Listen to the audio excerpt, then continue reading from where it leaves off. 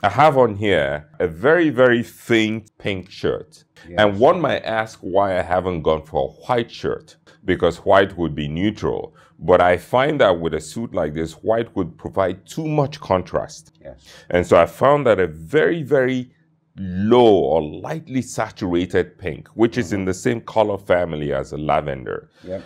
It allows you to capture that contrast mm-hmm. without mm-hmm. being too stark. So from a distance, of course, yeah. it looks like I'm wearing a white shirt. It does. Yeah. And even from a distance, the contrast is not so stark. And a lot of these things be, come with, uh, I would say, a trained eye or of experience. Course, yeah. So I do, of course, have white shirts in my mm. wardrobe, but I looked at the suit and I knew right away, even before I picked out a shirt, that a white shirt would provide that the contrast would be too stark. Yes, yes, and so yes. I've gone for something like a light pink to sort of bring down the lavender mm-hmm. very softly.